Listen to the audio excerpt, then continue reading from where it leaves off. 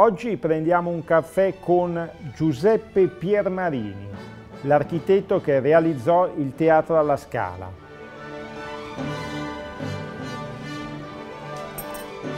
Siamo al 3 agosto del 1778, la solenne apertura, aprimento del nuovo Teatro alla Scala. Va in scena, vedete qui il libretto, l'Europa riconosciuta. Musica di Antonio Salieri, il grande Kapellmeister di Vienna, e eh, libretto dell'abate Mattia Verazzi. In sala c'è la nobiltà innanzitutto, l'arciduca Ferdinando, figlio di Maria Teresa d'Austria, con la moglie Maria Beatrice Ricciarda d'Este, sposati da non molti anni e in occasione delle loro nozze nel vecchio teatro avevano assistito alla messa in scena dell'Ascanio in alba di un giovane musicista salisburghese, Wolfgang Amadeus Mozart. Ma questa sera, per l'inaugurazione, per la solenne apertura, c'è il grande quello che la tradizione ha passato come il grande avversario di Mozart, l'italiano Antonio Salieri. In realtà Salieri a Vienna era il maestro compositore di corte e Mozart era solo un giovane. In sala c'è anche la nobiltà milanese, ci sono ad esempio i fratelli Verri, c'è soprattutto Pietro Verri, che non lascerà un giudizio del tutto lusinghiero sul teatro. Scrive così al fratello il 19 luglio del 1778. La facciata del nuovo teatro è bellissima in carta, ma ora quasi mi dispiace, gli spiega. Gli dispiace perché è troppo stretta davanti, corsia dei servi è troppo stretta e impedisce di vedere la sontuosità della facciata del Piermarini. Ma poi aggiunge, caro fratello, se ti ho fatto una critica sulla facciata, che di rilievo ha grandi imperfezioni, io ti farò l'elogio dell'interno di questa magnifica fabbrica. Spira dappertutto grandezza di eleganza, la curva è riuscita così bene che in ogni parte che ti affacci ti sembra di essere come al centro per rimirare il tutto insieme giudizio positivo sull'interno e saranno giudizi entusiastici da parte di tutti i visitatori, soprattutto i francesi, incomincerà la pittrice Michele Brun per arrivare poi naturalmente sino a Stendhal.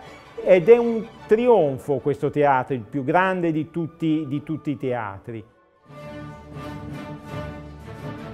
Pensate, siamo negli anni 60, quindi una ventina di anni prima dell'inaugurazione del teatro e i Verri con Cesare Beccaria, con tutti gli altri intellettuali dell'Accademia dei Pugni, fondano una rivista qui a Milano che si intitola Il Caffè, che è arrivato da pochi decenni, insomma dall'estremo oriente, stanno nascendo i caffè e questa rivista servirà per far conoscere il pensiero dell'illuminismo, soprattutto dell'illuminismo francese a Milano. Ecco che veramente durante il periodo della riforma teresiana, della riforma austriaca, Milano cresce enormemente, cresce con Ferdinando, cresce con l'illuminismo dei fratelli veri e naturalmente con il grande teatro alla Scala. Ma perché era sorto il teatro alla Scala?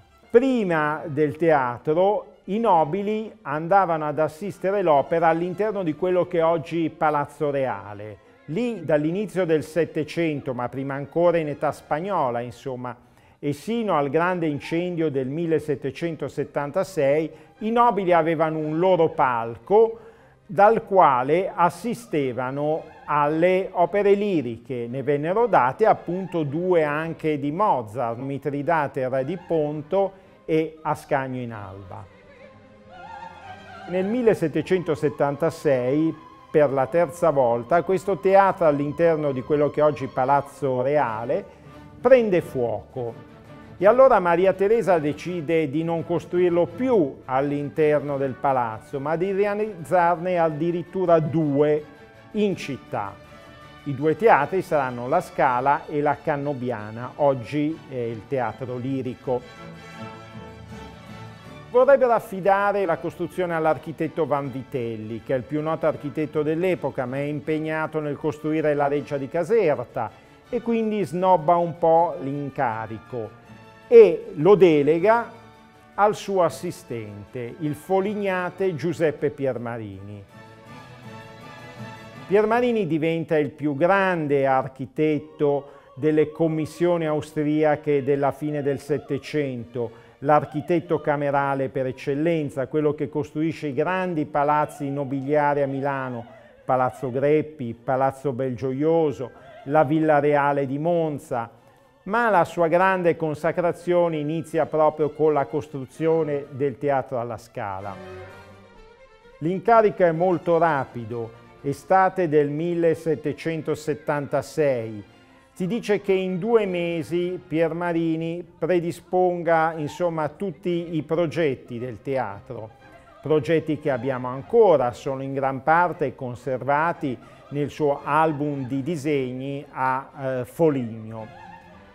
Il luogo scelto è quello, come è noto, dove sorgeva la chiesa di Santa Maria della Scala, così chiamata perché era stata dedicata alla moglie di Bernabò Visconti, che si chiamava della Scala, o secondo altre fonti perché c'era un affresco della Scala Santa nell'abside. Sta di fatto che la chiesa, che era costruita longitudinalmente rispetto a Corsia dei Servi, quindi sulla facciata dove oggi è Via Verdi e non sulla facciata lungo Via Manzoni come al teatro, venne sconsacrata, rimossa. Gli ex palchettisti incominciano a raccogliere fondi, organizzano i lavori con poco più di 400.000 lire l'impresario Marliani riesce a costruire il teatro e si arriva così in meno di due anni, molto meno di due anni, all'apertura del nuovo teatro. Naturalmente la cosiddetta scala del Piermarini non è esattamente come quella che vediamo oggi, la facciata è rimasta più o meno identica con il timpano in alto realizzato dall'Albertolli su disegno e terracotta dello scultore Franchi che si conserva qui al Museo Teatrale alla Scala che riproduce il carro di Apollo. Ma l'interno naturalmente è molto cambiato rispetto a quello del Piermarini. Allora la servitù entrava dalle porte laterali e stava naturalmente in platea dove stava in piedi. I nobili stavano sui palchi, all'ingresso dove c'è la galleria delle carrozze si scendeva, c'era un grande intasamento per arrivarci, le cronache dell'epoca raccontano di molto tempo per raggiungere la scala dalla casa nobiliare. Naturalmente si sarebbe fatto molto prima ad arrivare a piedi, ma era obbligatorio arrivare in carrozza. Ai lati dell'ingresso c'era il guardaroba, il caffè, c'erano i braccieri dove la servitù si serviva per portare poi i braccieri caldi dentro i palchi durante i periodi invernali. Ovviamente non c'erano il foyer e il ridotto dei palchi come lo conosciamo oggi perché questi vennero realizzati a partire dagli anni 30 del Novecento dall'ingegner Secchi e prima ancora erano già stati rifatti dal San Quirico e da molti altri. Ancora oggi, tuttavia, dopo l'ultimo restauro di Mario Botta, è possibile vedere un palco, cosiddetto palco del Piermarini. Ha ancora il colore azzurro con il quale venne realizzato in quel 1778 e l'impalcato è ancora quello originale. Comunque, sin dall'inizio, il mito della scala esplose e divenne noto da subito in tutta Europa come il teatro più bello e più grande del mondo il suo trionfo naturalmente fu all'inizio dell'Ottocento quando dopo gli austriaci arrivarono anche i francesi e in sostanza tutta l'Europa colta guardò questo teatro come a grande modello di teatro europeo.